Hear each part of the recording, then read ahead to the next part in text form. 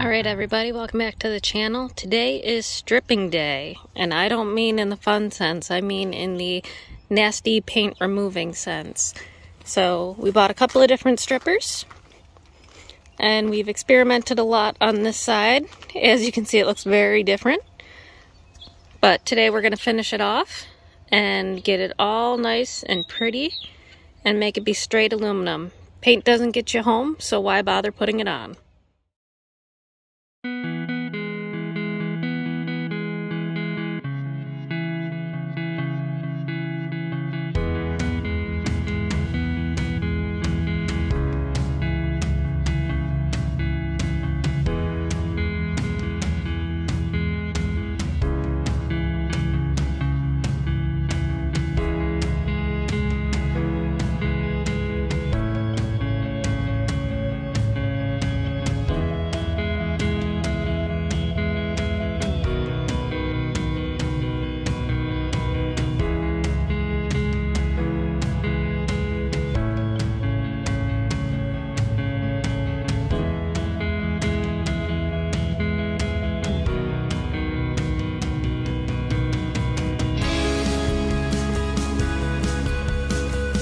So here's what everything looks like so far. There's the methylene chloride that we started first. And going around, you can see that they're all working pretty good, some better than others.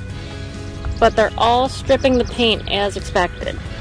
So now with just a light scraping action, I'll show you how these do.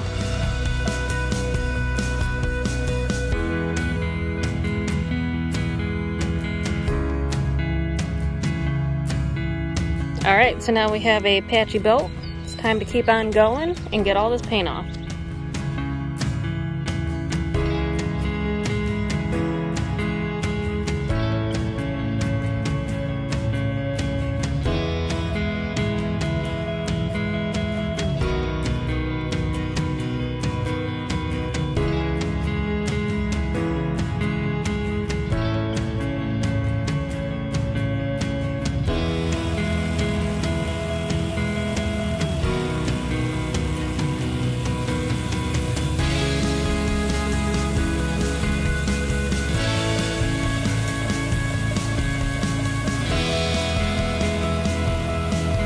Alright, so our stripping job is going very nicely. We're doing basically the last coat now using the Citristrip Gel.